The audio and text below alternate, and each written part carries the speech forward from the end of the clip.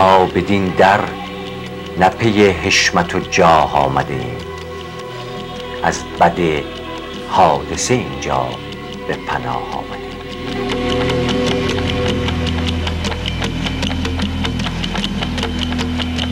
رهرو منزل عشقیم و ز سرحد عدم تا به اقلیم وجود این همه راه آمده کوچ ایرانیان. علازت فرمودن که تمام اینا درست. همه اینا که بگید چرا من مقاومت نکردم چرا این کارو نکردم درست.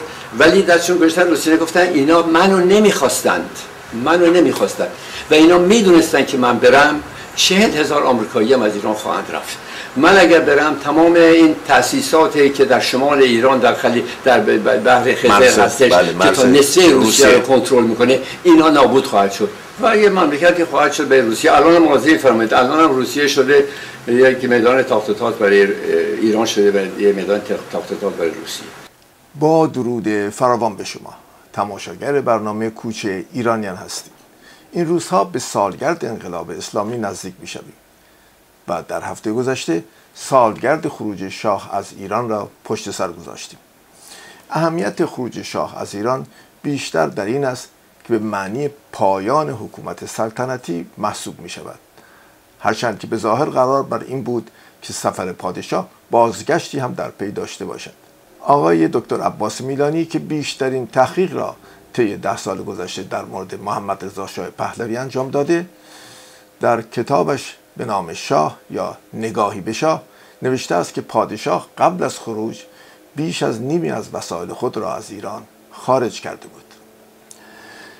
در اینجا وداع پادشاه را با مجسمه پدر خود می‌بینید که آقای امیر اسلان افشار هم در کنار ایشان ایستاده است.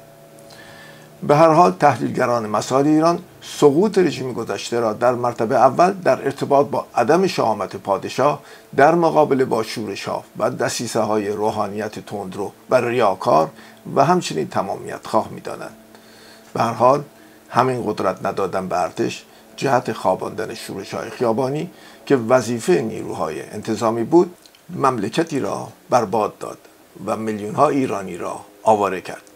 و فقط هم به همین دلیل است که من در حضورتان نشستم و با هم عوامل این کوچه اجباری را بررسی می‌کنیم.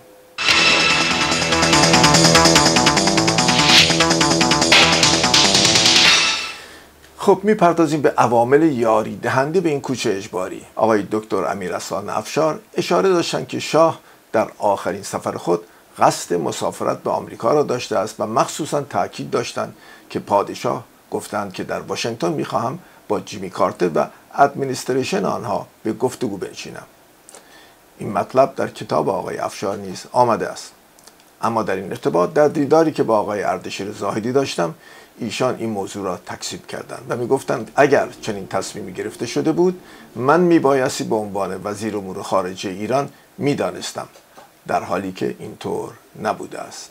به هر حال به هر حال ما می‌دانیم که شاه به اجبار مملکت را ترک کرد و این خواست او نبود. هرچند که باز ما می‌دانیم که محمد رضا برعکس پدر خود رضا شاه به هیچ وجه انسان شجاعی نبود و در طی دوران سلطنت یا بهتر بگویم حکومتش اقلا پنج بار قصد ترک ایران را داشته است و نمی‌خواسته که با مسائل پیچیده مملکتی درگیر شود. من لغت فرار را برای این حرکت پادشاه استفاده نمی کنم چون بدون شک در همه این تصمیم گیری ها صرفا فرار مطرح نبوده است. اما به هر حال پادشاه ما احیانا نمی‌خواسته که به سرنوشتی ماننده پادشاه عراق که در کاخ خود بمباران شد دچار شود. آقای اردشیر زایدی هم به این امر غیر مستقیم اشاره دارد. اگر من یه دفعه علازت شاید بارها فهمیدم چطور همه ناراضی رو تو به من میگی؟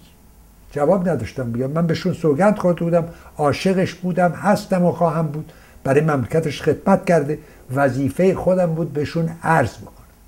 منم ممکن اشتباه کردم. همینطور که فرمودن چطور من که متخصص نیستم. فقط عرض من این بود که شما نمی‌تونید. نخست وزیر باشید. وزیر باشید. استاندار باشید. ارشد که شهردار باشید. اینها رو باید اشخاص مختلف داشته باشن مسئولیت داشته باشن خوب کردن تشویق بشن بد کردن شدیدا تنبیه بله، یکی- نداشتن عدالت. نداشتن به حقوق مردم رسیدن به درد مردم برسید و این مردم دیوانن بریزن تو خیابون خودشون کشتن بدن.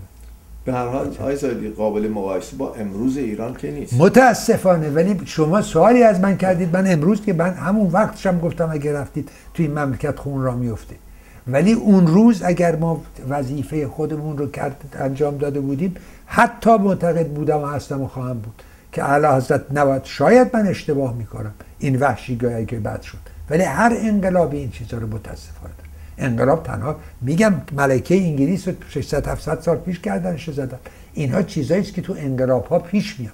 مردم باید یواش یواش خودشون فهمیدن شلا رو اینی که شما سوالی کردید به گذشته جوابتون دادم.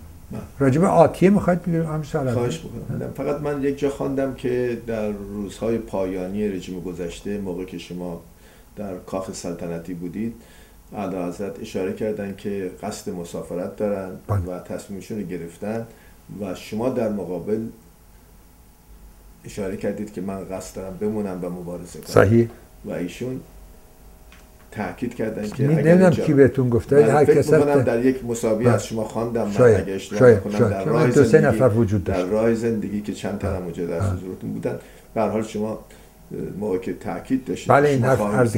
ایشون گفتن که شما اگر اینجا بمونید تکی تکی میشی یه همچین چیزی من عرض کردم بعدن می‌گیرن حبست می‌کنن نابودت می‌کنن گفتم من میمونم مبارزه می‌کنم. بعد موضوعی فرمودن چون اون وقت اولی حضرت ملک پهلوی اونم مخالف بودم ایشون خارج تشریف نمی‌دونستم ما گایقات ممکنه این وحشیت چون می‌دیدم روحیه مردم. من اون وقت می‌خواستم ولیعت رو از کلرادو بیارم ایران مردم ببینن ولیعتشون رو ببینن شاهشون پلوشون ولیعتشون پلوشون ملکهشون پلوشون ملکه مادر. خب اونها هم حق داشتن. بالاخره هر پدری هر مادری هر مادر بزرگی هر خواهری هم علاقمندن. اونها هم بعد از سلام ولی من شاید یه خود تون در این موقع. ولی معتقد بودم که اگه ایشون تشریف نمی بردن آرتش از بین نمی رفت چون برای شاه آرتش شاه براشون سایه خدا بود. اگر پارتش میموند این بدبختی ها پیش نمی آمد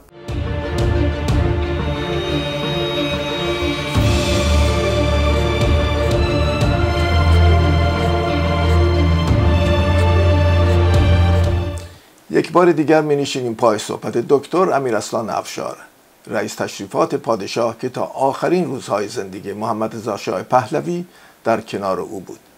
و گوش می‌کنیم به خیلی از مسائلی که ایشان در مقابل دوربین برای ما توضیح میدن. البته مسائلی هم بود که شهر آنها در مقابل دوربین جایز نبود ولی برای من بسیار آموزنده بود و از آن بهره می بردم. به منزل ایشان می رویم در شهر نیس در کنار دریای نیلگون جنوب فرانسه بلوار پرومناد زنگله.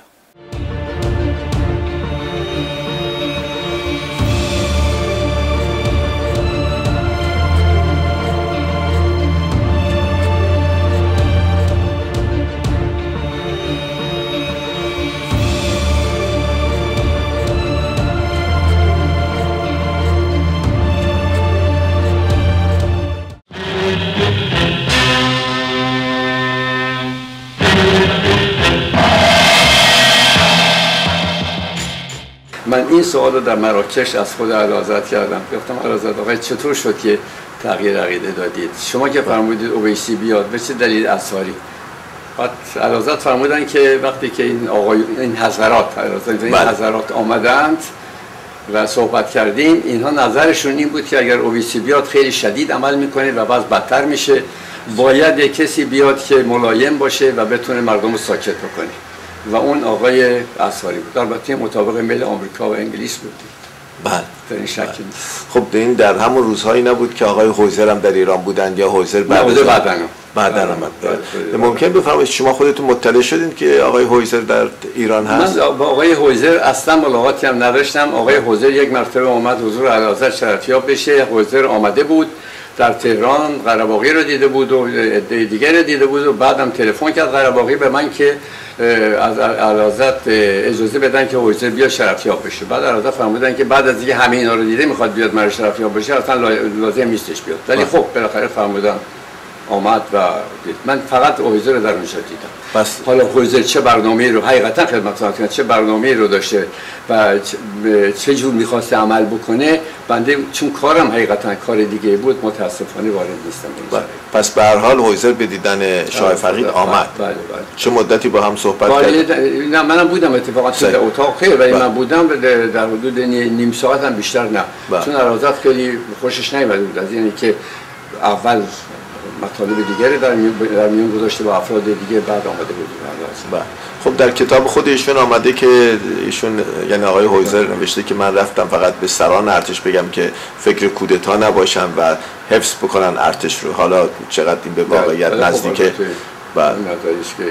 بله دقیقا در کتاب آمده به هر حال روزهای بسیار حساسی بوده که شما مسئولیت بزرگی در دربار شاهنشاهی داشتید در اون دوران فکر می‌کنم در همون روزها بود که هویدا هم در زندان بود درسته؟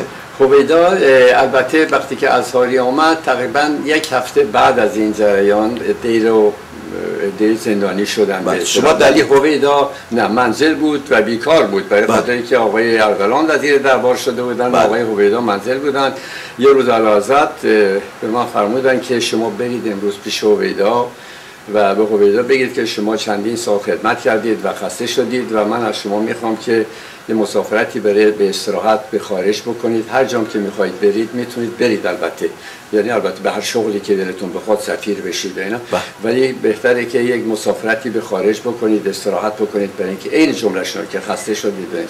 چه تاریخی بود آقای افشاری؟ بله بله قربون این چه تاریخی بود حدودا؟ تاریخی بود که تقریبا یک هفته بعد هویدا رو زندانی کردن صحیح درست تقریبا الان بله. درست تاریخ ها یادم بله. نیست ولی بله، نه می‌دونم. در. ارتباط با اسهاری بله فرمودی که دوران اساری بعد. از. بعد از بعد از- اساری بعد اه، من رفتم هویدا با ربد شام نشسته بود تو اتاقش و پیپش هم داشت می‌کشید و آقای قفاری که همکار آقای هویدا بودش در فرخ قفاری میفرمایید. نمی‌دونم از پوچی که بله. فراموش کردن با ما خیلی دوست بودن. ایشون هم اونجا نشسته بودن پیش آقای هویدا و مادرشون هم رو زمین گوشه نشسته بودن بعد من فرما... امر علازت رو ابلاغ کردم و گفتم گفتم آقای هویدا خیلی هم خوب محبت داشتن نسبت به من. منم خیلی بهشون علاقه داشتم. بعد آقای هویدا گفتن که خدمتشون عرض کنید که یک دنیا از محبتشون از لطفشون تشکر می‌کنم. ولی اگر من قرار باشه که یک مسافرتی به خارج بکنم اول من باید مادرم ببرم که از من بیشتر احتیاج داره و مریضه. ولی من مادرم هم نخواهم برد برای خاطری نمیرم و برای خاطری که من مطمئن هستم که بعدا خواهد به من همه گفت که هویدا فرار کرد. تو من نمی‌خوام.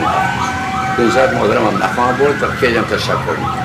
من روز بعد رفتم به علازت عرض کردم که جریان اینطور بود. علازت گفت چطور؟ رد کرد. گفت عرض کردم بله. گفت آخه این مرد همینطوری دستاشون بلند کردن فرمودن آخه این مرد نمی‌دونه که ممکن هستش که چه اتفاقی سوی براش بیفته بعدن گفتم قربان من همونطوری که فرمودی درس کردم جوابش هم همین این بود. بله. بعدا علازت برای اینکه مطمئن بشه آقای معینیان هم فرستاد با همین پیغام. صحیح. پیش آقای پیش آقای بله.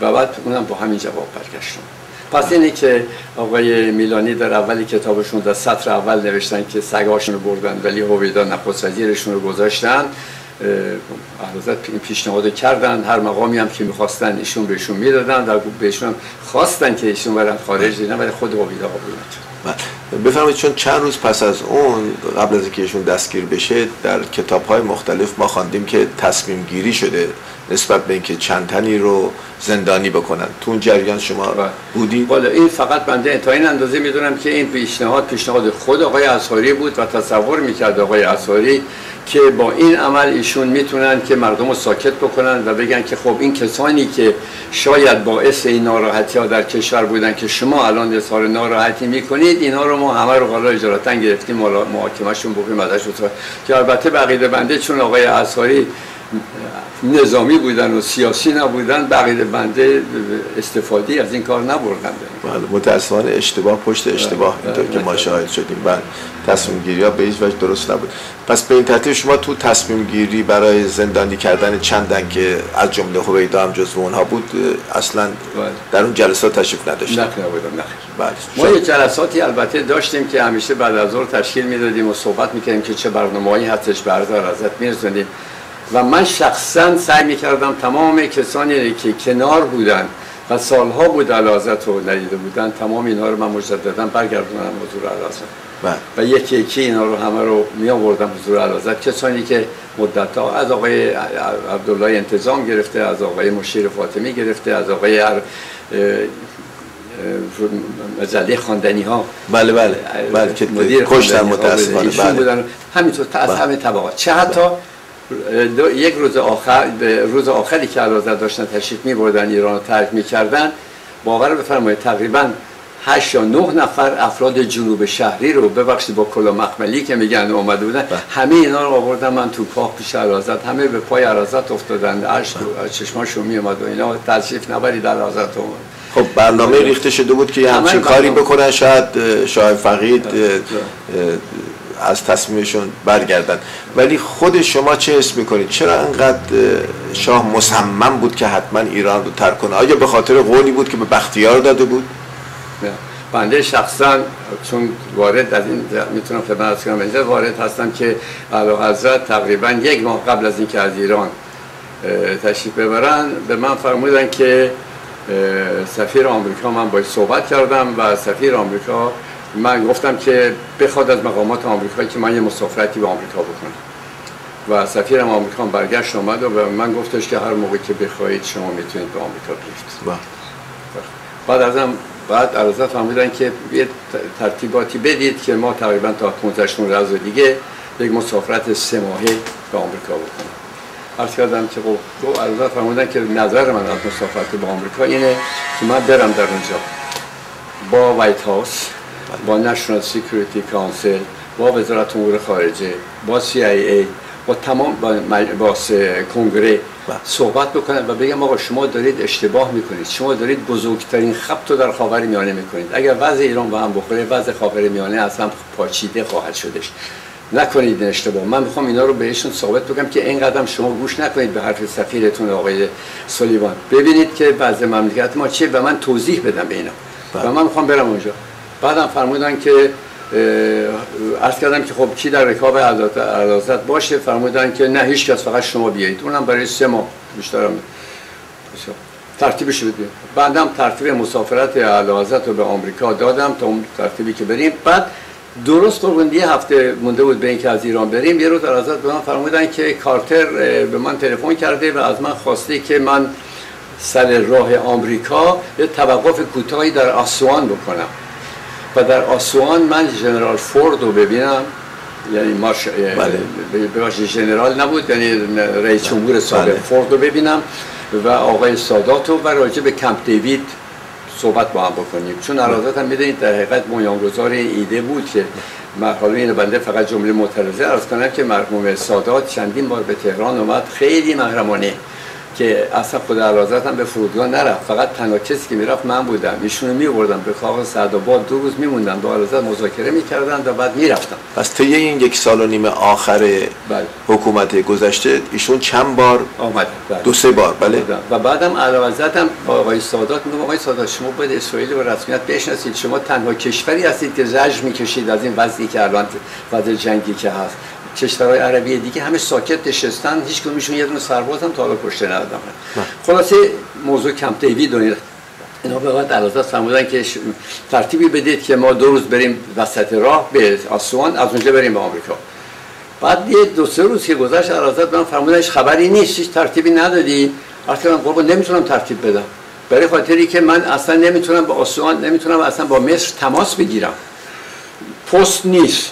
تلفن تعطیله. فاکس اعتصابه. همه هواپیما بنزین اصلا به هیچ وجه من هیچ جور نمی‌تونم من تصمیم بگیرم برم. نمی‌تونم پیدا بکنم نمی‌تونم تصمیم بگیرم که چه کار بکنم. بعد از فرموده در حال پس یه کاری باید بکنید. اتفاقا من اون روز شب در یه جایی که بودم سفیر آمریکا رو دیدم. اون به من گفت که علازت کی تشریف میارم به آسوان؟ گفتم این گرفتاری ها هست که نمی‌تونم من تصمیم بگیرم. ارتباط نمی‌تونم برقرار. فاکس بفرستم نمی‌تونم فاکس اون موقع. هنوز نبود. فاکس بود اون روزا. بله ولی نه قطع شده بودش. آقا می‌دونی هر چه از طرف ما می اومد قطع می‌شد. آقا چون بله. یه دشمنی بله. خاصی اصلا داشتن و تمام چیزی که مربوط به دربار می‌شد. ببینید حالا سوال دیگه مطرح میشه. یعنی خود شاه فقید اون موقع نمی‌دونست که یه همچین اتفاقاتی افتاده یعنی برق که خیلی اوقات میره یا روابط تلفن و تلگراف ولی خب اینو شما الان بهتر می‌دونید بله ولی از فکر می‌کنن که خب رفتنشون از ایران با هواپیما میرن به چیز نباید اینقدر اشکال داشته باشه که برن من سوالم چیز. دیگه است آقای افشار شاه فقید نمی‌دونستن که در اون روزها که شما بهش بله، بله. اشاره کردید مثلا ارتباط تلفنی خیلی اوقات قطع یا یا تلگراف و اینا.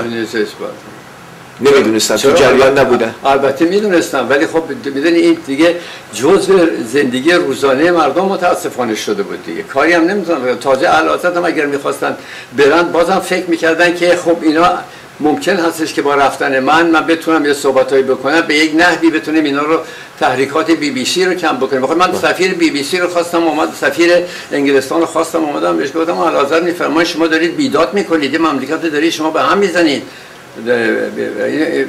بعد اون وقت اون گفت من با شما می‌دونید البته می‌دونید که بی بی سی ما دخالتی نمی‌تونیم در کارش بکنیم فلان اینا از این صحبت ها ولی من سعی می‌کنم برای شما جواب بیارم. که بعد یه جوابی بود که البته اگر وقت باشه بعدا عرض می‌کنم.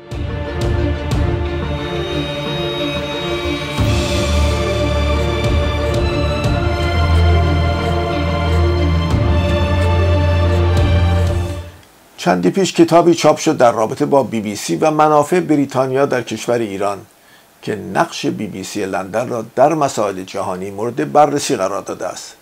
به نوشته و دیدگاه امیر تاهری در این کتاب شما متوجه می شوید همانطور که شاه فقید می گفت بی بی سی واقعا با قصد قبلی در سال 57 به شورش در کشور ما کمک می کرده و مجریان آن در آن سالها موافق دگرگونی در حکومت ایران بودند.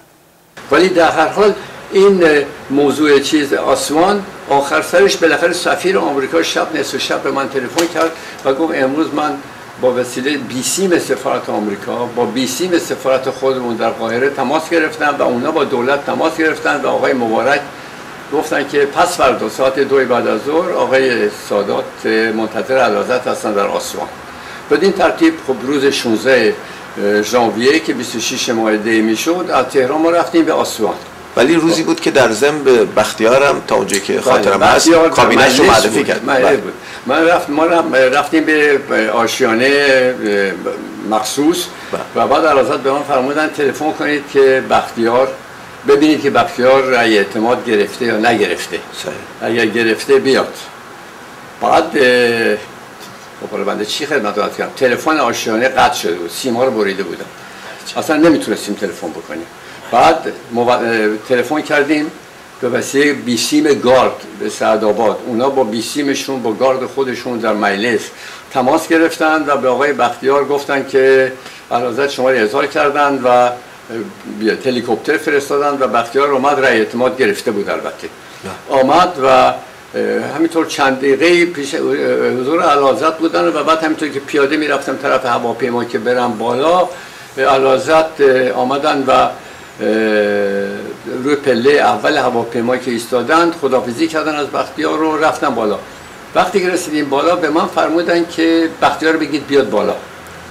دوباره من صدا کردم بختیار آمد بالا آمد بالا و بعد علازت این جمله رو من هیچ وقت فراموش نمی‌کنم. علازت فرمودن که خب به حمدالله شما موفق شدید و رأی اعتماد گرفتید من الان کشور رو به شما و شما رو به خدا میسپارم. و بختیارم دست علازت رو بوسید و از پله ها اومد رفت پایین. این آخرین ملاقاتی بود با علازت این چند کلمه بود که علازت بهشون صحبت کرد. ولی این ولی بالاخره در چیز در آسیان بعد از سه روز که ما اونجا بودیم مذاکراتشون تموم شد. به من فرمودن این مردم توریستا همه در, در ناراحتی هستن برای اینکه هتل در اینجا رو قروخ کردن در ما و الان تلفن کنید شما به سفیر آمریکا و بگید که ما چه روزی وارد آمریکا بشیم. قرارم شده بودش که اعلی حضرت با هواپیما در اندروز ایر فورس بیس در واشنگتن بیاد پایین. و از اونجا با. با هلیکوپتر برم منزل انمر که دوست علازت بود. در اونجا باشم و بعد علازت شروع کنم به برنامهشون یعنی 18 همه ژانویه اگر دو روز بعد این بود، در 18 برنامه این بود گذاشته بله. شده بود بله. بعد من تلفن کردم به سفیر آمریکا و گفتم که علازت مذاکراتشون تموم شد با جنرال فوردو و با آقای سادات و اینا و چه روزی ما بی... چه روزی بیان به واشنگتن سفیر آمریکا گفت من فردا به شما این خبر میدم تلفن می‌کنم سوال می‌کنم روز بعد آقای سفیر آمریکا به من تلفن کرد به آسمان و گفتش که آقای افشار شما به عرض علازت برسونید که این جمله شد. ادمنستریشن آمریکا در حال حاضر صلاح نمی‌دونن که علازت بیان به آمریکا. خب آقا مراجعه فرمایید. پس یه کاری یه, برنامه پیش ساخته ای بود. که ما رو از اونجا آوردن به اینجا و از اینجا به اونجا را ندادن. تمام این آسوان یک بازی بودش در حقیقت برای خاطری که اعلیحضرت رو از ایران بکشن بیرون و بعدم اعلیحضرت رو به خب آمریکا را ندادن. شما بیشتر بر این عقیده هستید یا اینکه یا اینکه ندانم کاری ادمنستریشن هم می‌تونست موثر باشه؟ البته بنده از اصل قضیه رو خواستم خدمتتون عرض که تمامش اختلافات به اول عرض کردم. اختلافات وزارت خارجه و آقای برژینسکی به کلی مخالف این جریان بود. آقای ونس دشمن خونی از همه بدتر آقای پرکت بود. آقای پرک رئیس اداره ایران بود. اصلا دشمن ایران بود. به چه دلیل نمی‌دونم. آیا بهش بی احترامی کرده بودن آیا بهش نمی‌دونم اهمیت نداده بودن آقای پرکت آقا شما می‌دونید که رئیس اداره ایران خیلی از وزیر خارجه مهمتره. در, در هر ده. برای خاطری که بنده وقتی که می رفتم پیش آقای وزیر خارجه آقای میکلاس که رئیس اداره ایران بود اون حاضر بود. وزیر خارجه آمریکا که با 194 تا کشور رابطه سیاسی دارن چطور از هر جایی می‌تونه خبر داشته باشه که خودش مستقلا با من تمام برنامه رو کنه باید از اداره ایران از ادارهشون بالاخره مطالب میز ایران. و این آقایون حقیقتا آقای کارتر هم گیج کرده بودن برای که دیگه مرد نمی‌دونست که چیکار بکنه اصلا. آدم ضعیفی هم بود در حقیقت. الان آدم ضعیفی هم بود نمی‌دونه دیشب پریشب در برنامه اینجا یه برنامه بود راجع به CIA یه برنامه بود راجع به FBI و این اختلاف این دوتا که باعث این برجای آمریکا از بین رفتن برجای آمریکا شد اینا. یه جا نشون داد که آقای کارتر می‌گفت که من اصلا I was not aware من اصلا خبر نداشتم که برژنف همچین کاری ممکن. ما که با برژنف خیلی دوست هستیم. چه دوستی شما ممکن با آقای برژنف داشته باشید یه بعد نخست یک رئیس مملکت باید خب این چیزا داشته باشه باید بالاخره یک مشاورینی داشته باشه که راهنماییش بکنه. ولی مشاورینش متاسفانه وزارت خارجه و اختلاف وزارت خارجه و وایت و پنتاگون. سه تا البته شرکت های نفتی هم که در اینجا اصلا بیشتر دخالت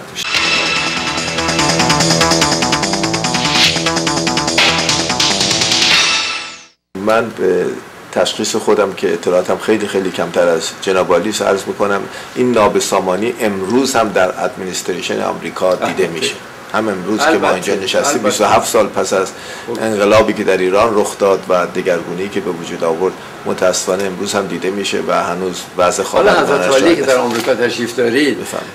فکر نمی‌فرمایید که خود آمریکا از این برنامه‌ای که برای ایران درست کردن و با این دستابیلیزه کردن ایران. تمام خاور میانه رو به هم زدن. دقیقا. آیا خودشون نمی‌دونن که این اشتباه کردن یا برو خودشون نمیارن؟ نمی‌دونم. ببینید افرادی یک زمانی مستر قدرتی هستن و بعد کنار میرن. می‌دونید که سیستم آمریکا چه بله، است بله. بله. و ولی مجموعاً بدون شک یعنی درش شکی نیست که جابجایی قدرت در ایران باعث عوامل نابسامانی کنونی شده. مطمئنا بحثی درش نیست. و در این بحثی مورد شرکت های نفتی هم که بسیار رولش رو بله. بازی می‌کنن. این برنامه پریشب بالاخره آخر سرش صحبت این بودش که CIA می‌گفت که در آمریکا در عربستان سعودی حقوق بشر رعایت نمیشه باید در دموکراسی به وجود آورد اینا در اونجا بعد در جواب آقای وولسی می‌گفت که بله ولی منافع پترولیوم ما اونجا به هم بخوره اگر این کار بشه آخر سر تمام این یک ساعتی که من شنیدم آخر سر نتیجه برای از این گرفتم که گفتن که برای ما هیچ کدوم اینا مهم نیست خلیج فارس و نفت.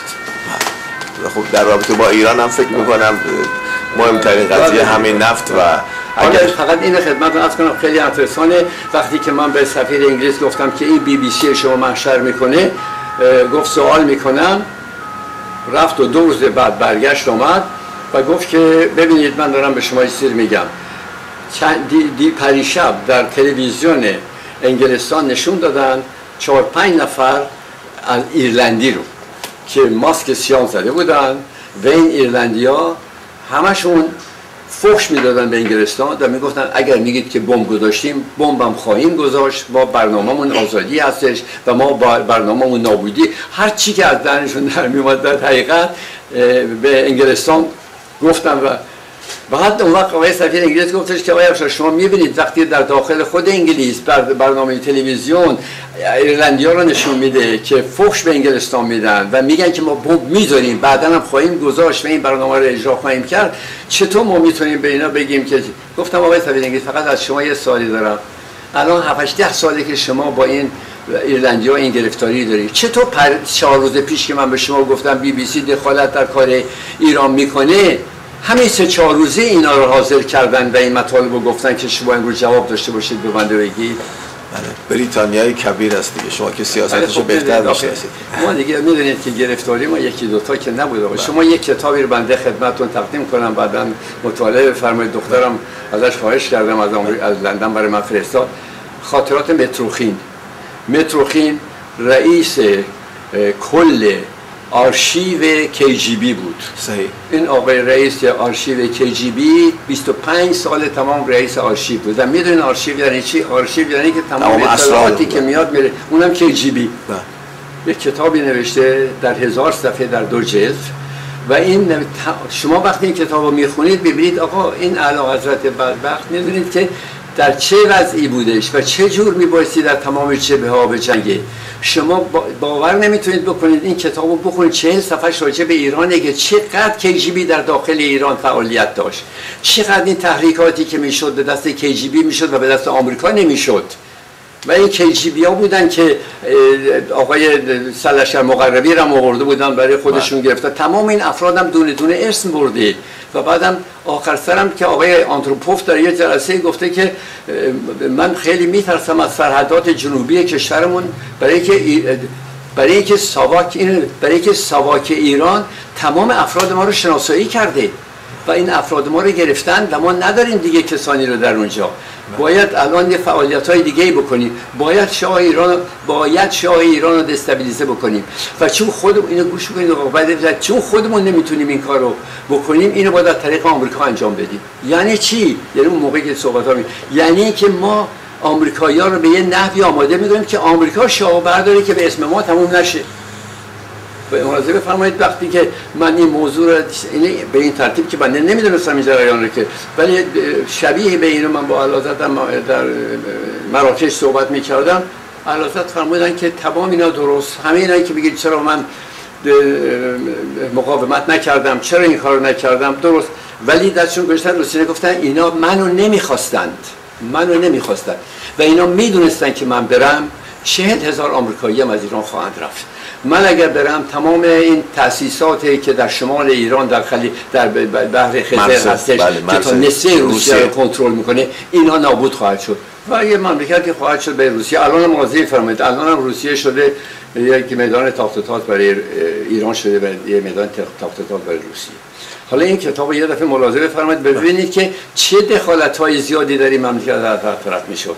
چند دفعه خواستن علازت رو اعدام بخوشن و اینجا در این کتاب همش نوشته. آخرین دفعه نوشته بود علازت که برای افتتاح مجلس می‌رفت. ما اتومبیل پر از بمب گذاشتیم در سر راه علازت ولی منفجر نشد. نه, کار نکرد. دستگاه که منفجر بشه. خیلی جالب. خب دیگه حالا دیگه چجوری می‌خواد شما مبارزه بکنید؟ در طی هفته های آینده باز هم به بررسی آواری که به عنوان جمهوری اسلامی بر سر ما خراب شد می‌پردازیم. طوفانی که عامل کوچ چندین میلیون ایرانی گشته است و کند و کاو این عوامل ما را به چند و چون تلاش صد سال ملت ایران برای دستیابی به آزادی نزدیک می کند با ما باشید.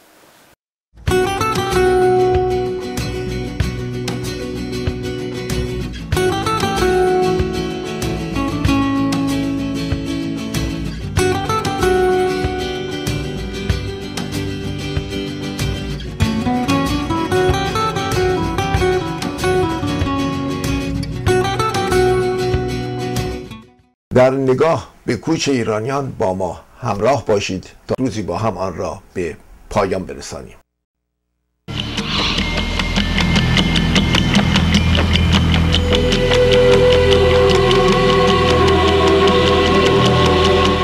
و ما در قربت همچنان دوره می کنیم شب را و روز را هنوز را.